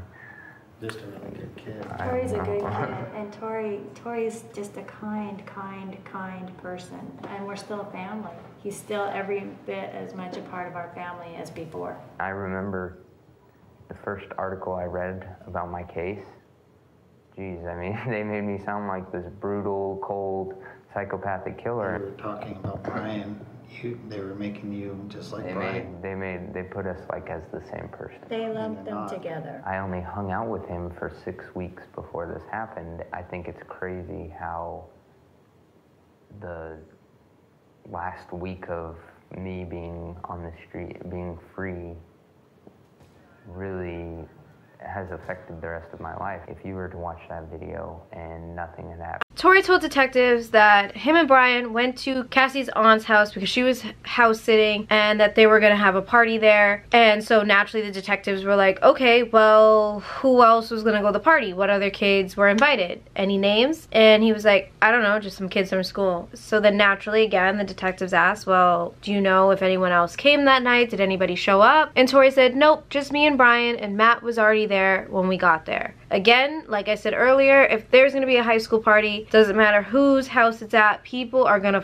show up. But according to Torey, in his first interview with detectives, it was just Torey, Brian, and Matt who was already there and Cassie. Detectives asked Torey if they searched the house, where would they find his fingerprints? And Torey was like, well, when we got there, Matt gave us a tour of the house, which answered my previous question of did Cassie give them a tour? Did Matt give them a tour? Who gave these boys a tour of Cassie's aunt's house? Well, lo and behold, Torey told detectives that Matt gave both him and Brian a tour of the house. I found this statement to be interesting because at this point, Cassie and Matt had only been dating for four to six months. And in those four to six months, I'm unsure of how many times Matt had gone to Cassie's aunt and uncle's house where he felt comfortable enough to give a tour or why he felt the need to give them a tour of a house. If they just plan on watching movies or eating food, why would these boys need a tour of an entire house? The house was pretty big. And why did Matt find it necessary to give them the tour? Hmm, I can think of one reason. One reason Matt gave them a tour was to show them around the house that they would navigate around later that evening when they came back to kill Cassie, which again points the finger at Matthew being involved. Detectives asked Torey if his fingerprints would be in the kitchen or on the knives in the kitchen. Torey explained to detectives that his fingerprints would be in the kitchen because they got hungry at some point and they ate popsicles. He then told detectives that Brian got bored and they left to go see a movie around 8.30, which contradicts Matt's interview with detectives because Matt told detectives that the boys got to Cassie's at 8.30, but Torey is telling detectives that they left the house at 8.30. Detectives then asked Torey if there was any issues with the lights when he and Brian were at Cassie's house. He said no. And then he said, if we search the basement, are your fingerprints gonna be on the circuit breaker? Torey responded with, what? No. Torey, Torey then told detectives that he called Matt at some point in the evening and Matt was trying to scare Cassie and he was purposely shutting the lights on and off. So detectives asked Torey, okay, well, around what time time was Matt trying to scare Cassie. And he said, it must have been before 11 because I had to be home by 11. Detectives then tell Torey and Torey's parents that Cassie's mother had picked Matt up around 11 p.m. that evening. Both Matt and Matthew's mother, Sherry, explained to police that Cassie was still alive. Matt's mother explained to detectives that she had not seen Cassie alive. In fact, she pulled up into the driveway honked the horn, and waited for Matt to come outside. I find this statement to be extremely interesting for a couple reasons. One, and I've said it and I'll keep saying it and I'll keep saying it and I'll keep saying it and I'll keep saying it until everybody hears me and agrees with me and gets it. No parent in the world is gonna pick up their son from a house at 11 p.m. in the dark and not be alarmed that there's a 16 year old girl inside alone in the dark by herself. I'm sorry, I'm just gonna keep saying it because it doesn't make any fucking sense. Number two, it's 11 p.m. at night. This is a quiet neighborhood, a secluded neighborhood. At 11 p.m., a lot of Cassie's neighbors are probably sleeping. So why would Matt's mother pull up to Cassie's aunt and uncle's house and honk the horn to let her son know that she's outside? Why wouldn't she have called the house phone or called Matt's cell phone if he had one to let him know he's outside to not wake up or potentially disturb surrounding neighbors? That doesn't sit well with me. It's not adding up to me. It doesn't make any sense to me. There's definitely a piece of that puzzle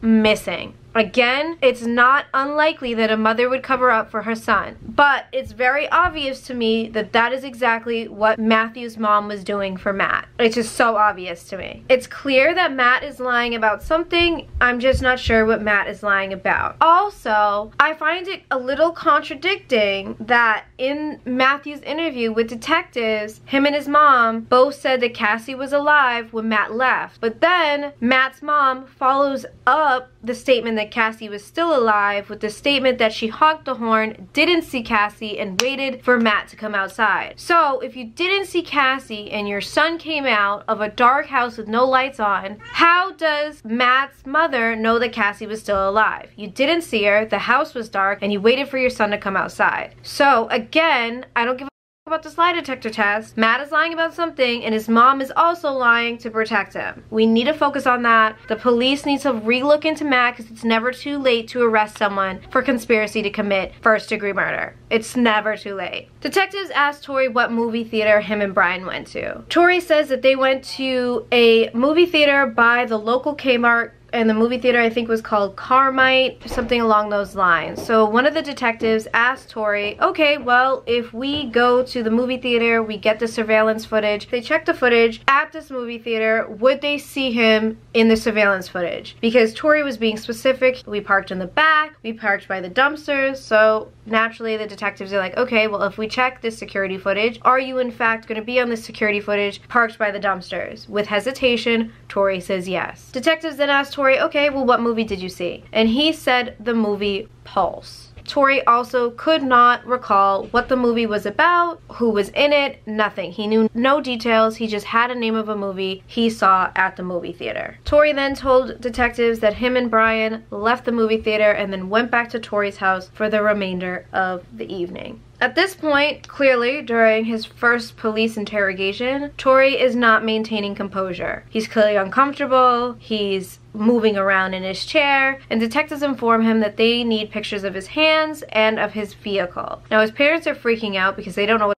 is going on. They just are like, why do you need pictures of his hands? Why do you need pictures of his vehicle? They don't believe that his son is involved. They can't believe that his son is involved. Yet here are detectives asking him questions about where he could be, where he was at, who he's with, timeline, and now they need pictures. Now during this interrogation, Torey's dad, Sean, went downstairs to print cell phone records for Torey's cell phone. After they tell him that he needs to take pictures, of his hands and vehicle. It is explained to Torey and Torey's parents that his cell phone records are going to be looked at to see if his story matches his actual cell phone pins. If he was at the movie theater, his cell phone will pin closest to the tower by the movie theater, which is nowhere near the tower that would pin if he was by Cassie's house. After all this explanation, Torey is given a piece of paper where he writes down his statement and where he writes down his official statement of his whereabouts on the night of Cassie's murder. After detectives finish interviewing Torey, they then head to Brian's house, who got interviewed by detectives with his mom present. They interviewed him about Cassie's murder and the events surrounding her death. Some articles that I read on Cassie's murder said that during this initial interview with police,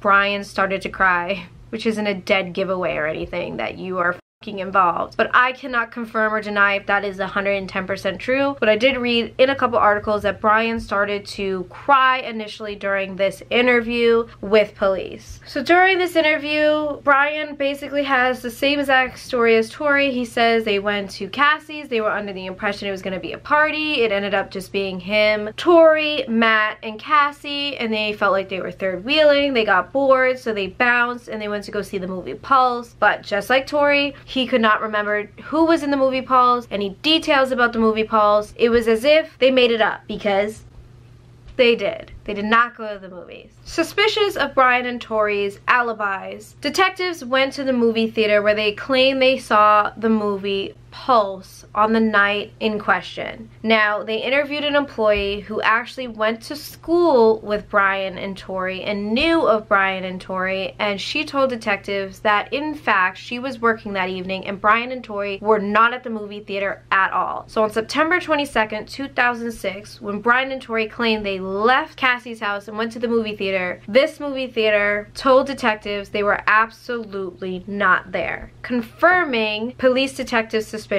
that the boys were lying. On September 26, 2006, Brian was interviewed again by police, but this time it was at the police station. Brian told police that when they arrived at Cassie's family's home, Matt him and Torey got Matt, him, Matt, and Torey looked through every window of Cassie's home. That's sketchy. Why are you looking through every window of Cassie's home? And he said Matt. So this is another reason why I believe Matt was involved. Why is Matt looking through every window of his girlfriend's family's home with the two guys that killed his girlfriend? Clearly, Matt again, like I've pointed out through this entire video, is somehow involved. He's clueless to what's going on, right? Right, absolutely. He's so clueless. He has no idea why these two boys want to look through every window. Like what conversation were they even having when they were looking through every window? Window about her murder, like that means Matt is involved. Like, hello people, I don't give a about the polygraph test. Put this motherfucker in jail. Brian still maintained that him and Torey went to go see the movie Pulse, but he still had no idea what the movie was about. He couldn't remember shit. He said it was boring. He fell asleep. I don't know what his excuses were, but he could not remember shit about the movie because he didn't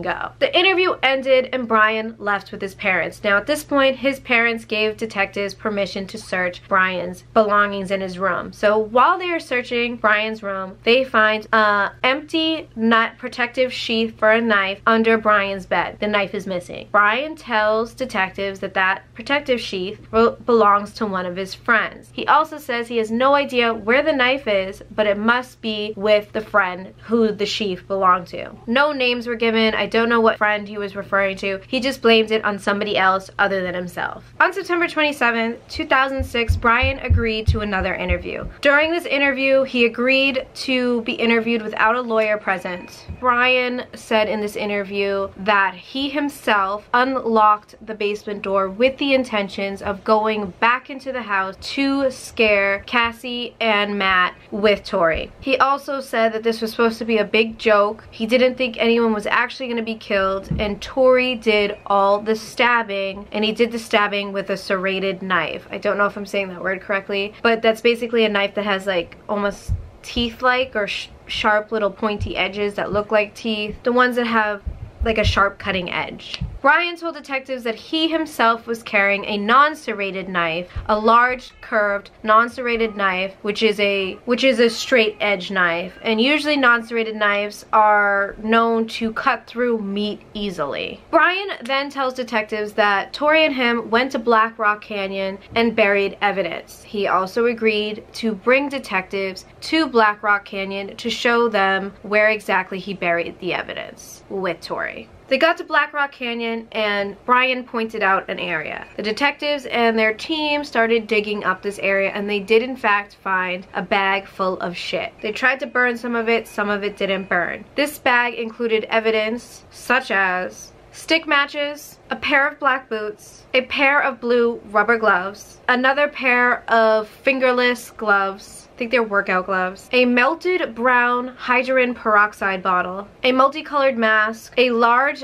dagger type of knife with a sheath, a Sony videotape that was damaged but then repaired and used in trial. And the evidence on this tape is damning to both Corey and Brian. A black serrated folding knife, which actually had Cassie's blood on it, a partly burned piece of paper, and they could make out some of the words such as deathless on it, so they intended on having a high body count and had the names of other classmates they were hoping to kill. It's like kind of crazy because even if you're nice to kids that are considered outcasts, they could still potentially want to kill you. For instance, Brian killed Cassie because Cassie didn't want to be with him and she was with Matt, but Cassie was never mean to him. She was nice to him. He considered Cassie a friend. So even at that, he still wanted to kill her. They found a red and white mask and with DNA testing on the mask, it was Torey's DNA from the inside of that mask. A pair of partially burned Puma black gloves. These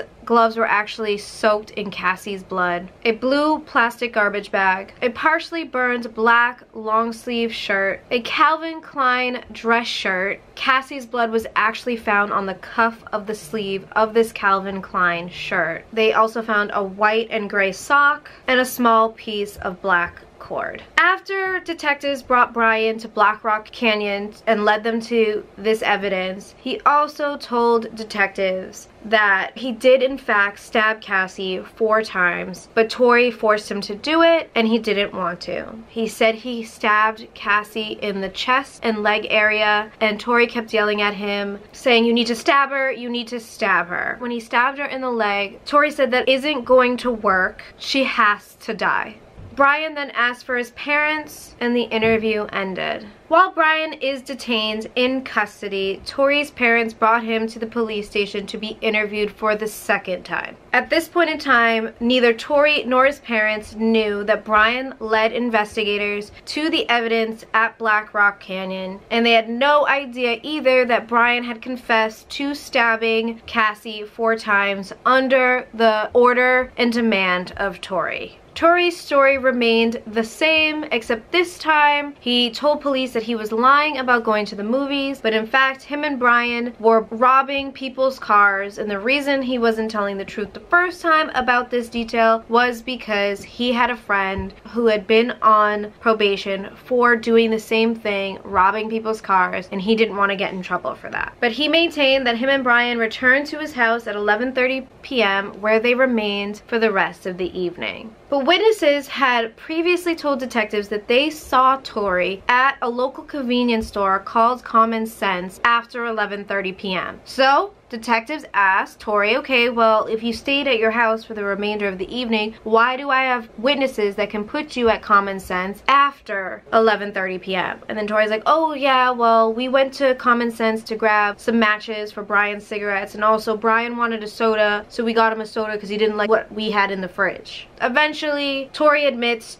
to detectives that him and Brian took a joyride to Black Rock Canyon, but he does not tell detectives anything about the evidence or anything about the murder. He just said that they randomly went there when they re-left the house. At this point, detectives are fed up with Torey and his lies, and they let him and his parents know that they have the evidence they buried at Black Rock Canyon and it was time for him to tell the truth. Torey then asked if he could have an attorney, and the interview was immediately stopped. Torey and his father Sean were put into another room so they could have a moment of privacy. Detectives rejoin Torey and his father Sean. Detectives let Torey know that he is in fact going to be arrested. The interview ended, and detectives took Torey's shoes, which he claimed he was wearing the night of Cassie's murder. Prior to Torey being arrested, he denied killing Cassie, and still to this day, he denies taking part in her actual killing. Incapable of something like this, and it completely caught me off guard. I was just in. I don't know, I just couldn't believe it. It did happen. I was just too shocked to do anything, and I just ran from it and hid from it, and I made a lot of mistakes. But they were I don't know. I just think I look at myself now and I'm 21 and I think how stupid I was at 16 and I just think how I feel like I'm paying for somebody else's mistakes at this point. I'm going to show some of the video footage that I found online and then for the other video footage that was not online I'm just going to read some of the transcripts that I found in articles that I read online. Torey says you're evil laughs. Brian says, yes I am, so are you dude, evil evil. Torey says, no, evil is an expression of God. That was another test you failed. Brian responds, evil is not an expression of God. Torey says, yes it is. Brian says, that is bullshit and you know it. Torey says, evil of origin is a follower of Satan. Brian, there is no Satan. Torey, is Satan real? Then shut up. Brian, then how are we supposed to express ourselves? Torey, good and bad. Brian, we're, we're bad. Torey, we are bad. Brian, that sounds so shitty. Torey, we're evil? That sounds even shittier. Brian, hey, we're not, okay? Then we are six psychopaths who get their pleasure off killing other people. Torey, that sounds good, baby. Brian, we're gonna go down in history. We're gonna be just like Scream except real life terms. Torey, that sounds good, baby. Brian, we're gonna be murderers. Like, let's see, Ted Bundy, like the Hillside Strangler, Torey, no. Brian, the Zodiac Killer, Torey. Those people were more amateurs compared to what we are gonna be. We're gonna be more of higher sources of Ed, Brian, gang, Torey, gang. Brian, last. Well, let's say we're that sick and that twisted. Torey, oh, and you know what Ed Gein's words were? Brian, what? Torey, he saw a girl walking down the street, right? Brian, yeah. Torey, two questions came to his head. Hmm, hmm, Hmm, I could take her out and have a nice time with her, Brian, and then kill her, skin her alive. Torey says, charm the pants off her, or I wonder what her head would look like on a stick. Laughs. First of all, Torey, that wasn't Ed Gein, that was Ed Kemper, the co-ed killer. Get your serial killers correct if you want to be one. Ed Kemper and Ed Gein would be highly disrespected right now, okay? They're serial killers and pieces of shit, but you're confusing their work. Ed Gein, Texas Chainsaw Massacre. Ed Kemper, head on a stick. Let's get it together, Torey.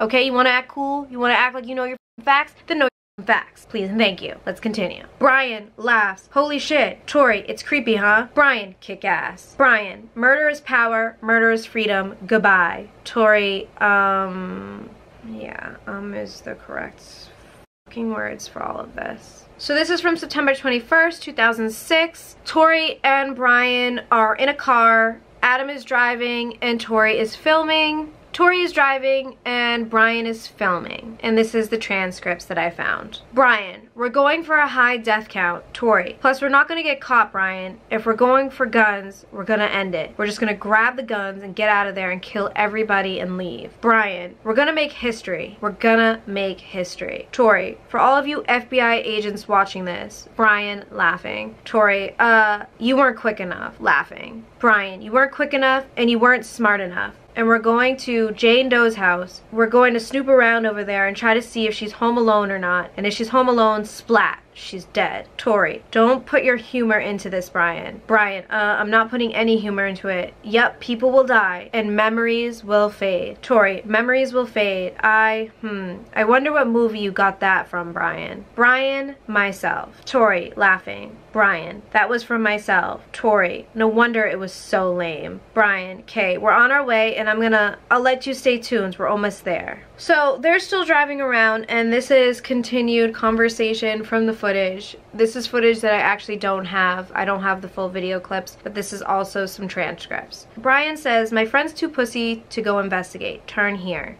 Torey says, too smart. Brian says, why aren't you turning there, dude? Torey says, because it's faster this way. Brian says, now we're going over to Cassie and Matt's house. If they're home alone, we're gonna. Torey says, it's Cassie's house. Matt is there. Brian says Matt is there. Sorry, we're gonna we're gonna knock on the door. We'll see who is there. We'll see, we'll see, we'll see. See if their parents are home or not. If they're home alone, we will leave our way and then we will come back in about 10 minutes. We'll sneak in through the door because chances are they're probably in Cassie's room. So we'll sneak in the front door, we'll make a noise outside. Torey and Matt will come out to investigate. Brian, we'll kill him and we'll scare the shit out of Cassie, okay? Oh, damn. I didn't read this before I started filming, so maybe Matt wasn't involved, you guys. And I was just being a bitch for no reason. Or maybe they did this on purpose to protect their friend. Or maybe Matt was involved and helped out and had no idea his friends had plans to kill him too because I just don't see how Matt him and his mom and his story just don't add up and it'll never add up and it'll never sit right for me. But this also is like, but this is somebody writing down the transcripts. I didn't actually hear any of this or witness any of this, so I don't know if these transcripts are 110%, but let's keep going. Torey then says, sounds like fun. Brian says, well, stay tuned. Okay, so this is on the night of the murder.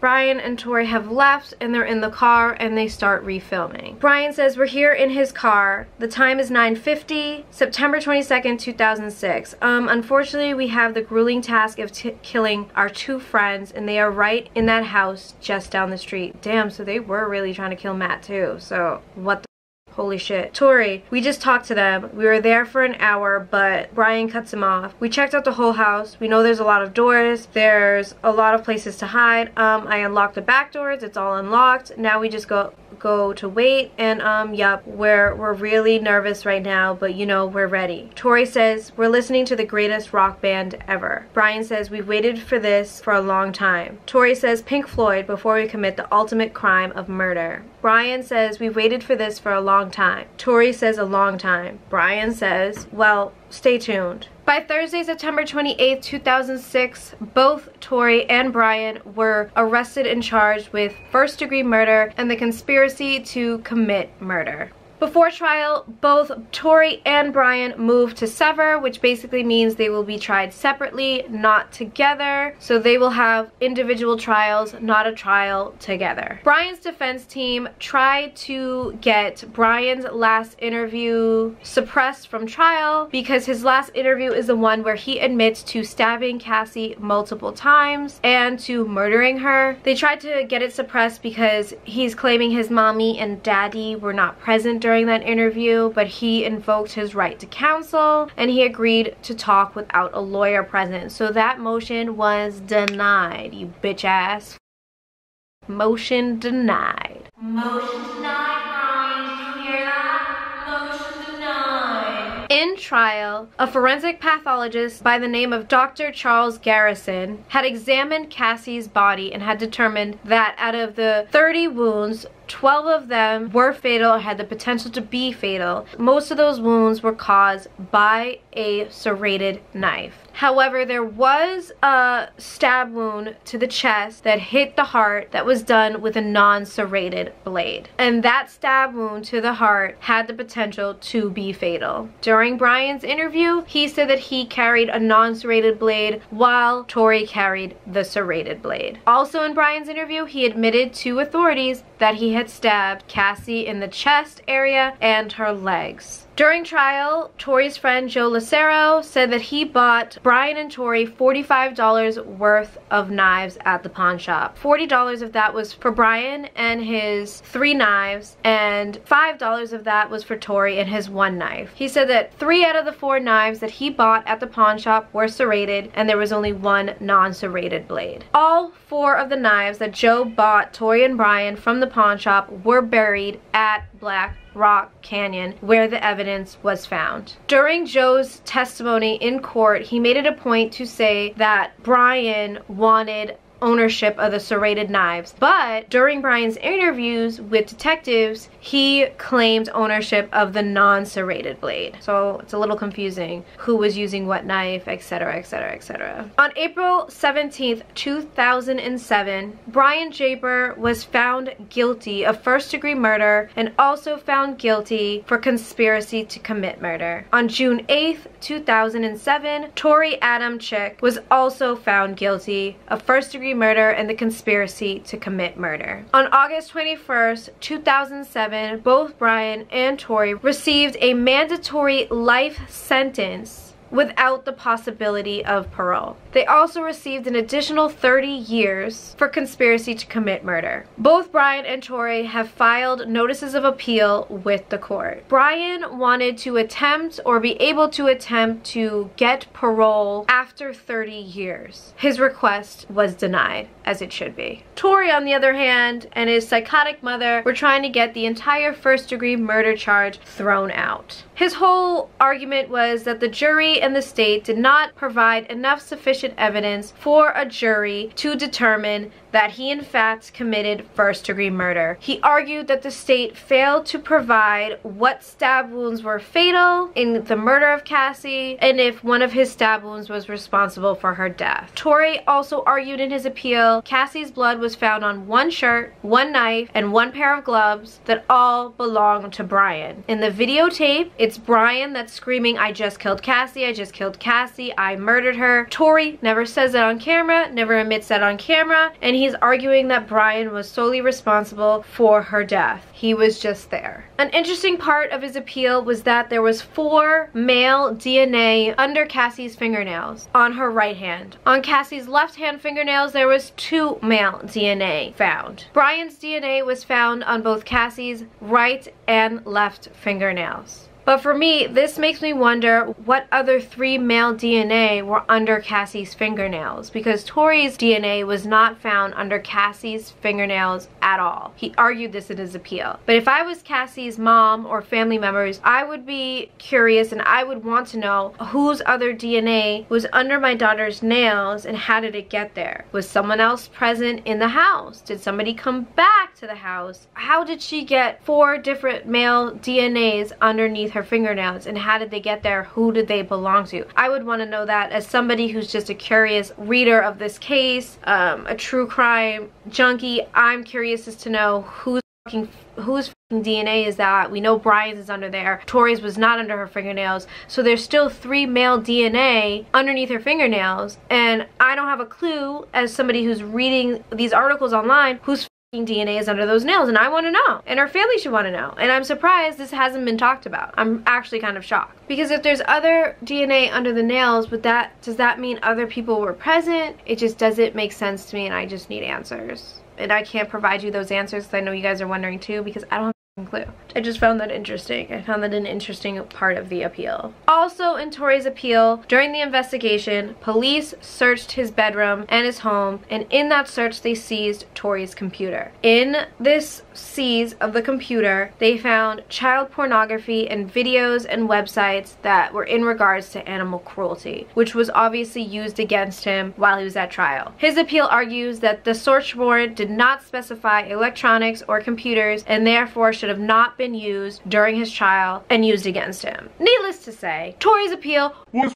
denied. It was denied. Sorry, Torey. Your get out of free jail card is not gonna work for you. It's not gonna work for you. It's not. Cassie's family did not do well after Cassie's murder, as I probably wouldn't either if I saw something so horrific done to someone I loved. Her aunt Allison fell into depression. She lost her job. Her cousin Kelsey, who was the first person to find her, fell into depression and actually attempted suicide, and they could not sell their home. No one would buy it. No one wanted to live there. It was just a very difficult time for the family. Andrew, Cassie's younger brother, did an interview at some point where he said the family has moved on. They're putting it behind them. I found that a little weird. I don't see how any family could ever move on and put something like this behind them. But to each zone, everyone handles grief differently. So all I can say is the book The Guilty Innocent by Torey's mother is cringeworthy. I read as much as I could, but I read enough to know that she is overbearing. She's one of those moms that I hope if I ever have children children I am never like. Controlling, aggressive, damn near almost abusive, yelled a lot, screams a lot, and she claims that this whole thing made her look at herself differently as a mother, etc., etc., etc. But there is a documentary on YouTube about kids that have gone to jail and have been sent to jail without the possibility of parole, and Torey and his family, and also Brian is in it. And Brian seems remorseful, he seems sad, he cries a lot. He just I, he, he's he's become a cutter. I don't know if that he's putting on for the cameras, if he thinks this documentary is now his spotlight and fame and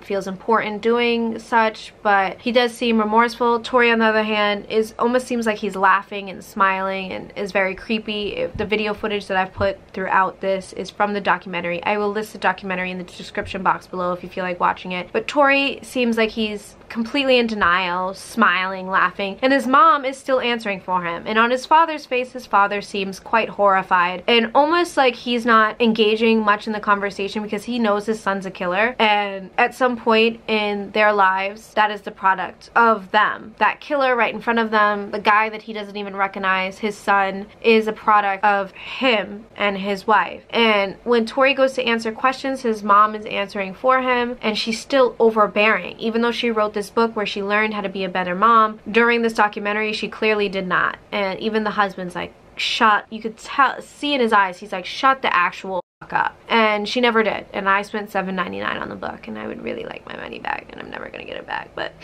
it is what it is. I'm praying for Cassie's family. Her life was taken so abruptly and so quickly and, and for two kids that if they didn't kill Cassie, they were to kill eventually. They were not to stop and they were never to be stopped until there was bloodshed, unfortunately. And Cassie fell victim to their up mentality and their up views on life in general and it's an awful awful awful case i still am even though i heard the transcripts i'm a little sketchy about matt still i'm sketchy about his bullshit story he came up with with his mom. I don't know how he played a role in this. I don't know if they actually did want to kill him or maybe Brian just wanted to kill him. Because if you noticed, Matt invited Torey over. He didn't invite Brian. Remember I mentioned that earlier? And then Torey was the one calling Matt on the phone, not Brian. So maybe it was Brian who wanted to kill Matt, but Matt was in cahoots with Torey. I don't know, but something about it's off. You comment below your thoughts on the entire situation. Let me know what you think. But that's it. That's today's true crime case. Give this video a thumbs up or a thumbs down, but as I always say, if you're giving it a thumbs down, you probably shouldn't be on this channel. But if you are going to be here, make sure you hit that subscribe button, but also hit the bell, because if you don't hit the bell, you will not get notifications, and if you don't get notifications, what is the point? Most importantly, go to the description box and subscribe to me and Gabby's Weiv, ridetheweiv.com slash the Victor Twins slash post for exclusive content such as mukbangs, vlogs, story times, you name it. All my social media is also linked below. I love you guys to the moon and back. Be safe, be careful who you are friends with, who you're dating. Don't let anyone at your house when you're home alone. Don't tell anyone you're home alone. Some things are meant to be private and sometimes you're just meant to be alone. And if you are alone, be like Macaulay Culkin at Home Alone. Get some fake cardboard cutouts. Act like there's a motherfucking party going on. And man, I don't know. Sometimes situations are unavoidable and for Cassie Jo Stoddart, her death was unavoidable. These boys had a plan and they carried it through. And they planned on a high body count. They wanted to commit this murder and commit more and luckily they were stopped. So at least that was a blessing. I love you guys. Good night.